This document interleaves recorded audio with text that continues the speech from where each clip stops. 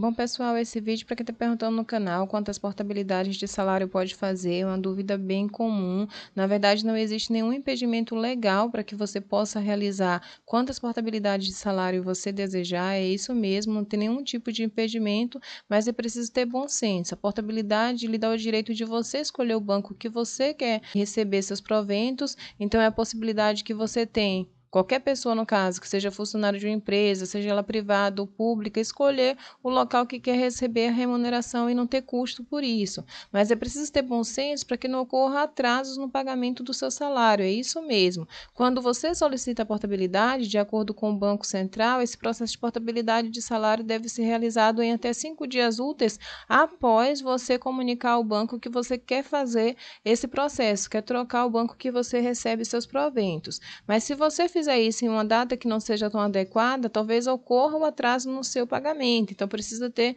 essa sabedoria no momento de solicitar a portabilidade.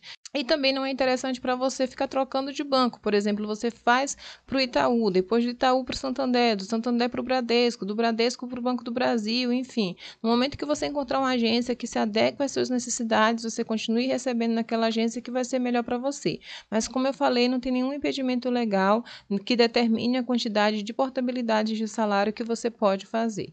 Espero ter ajudado. Se ajudei, não se esquece, me ajuda também. Se inscreve no canal.